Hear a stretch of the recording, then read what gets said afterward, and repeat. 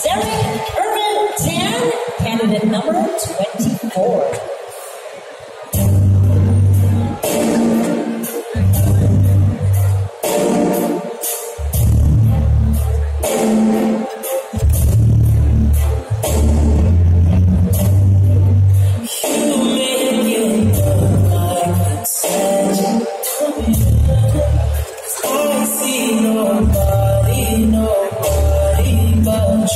You,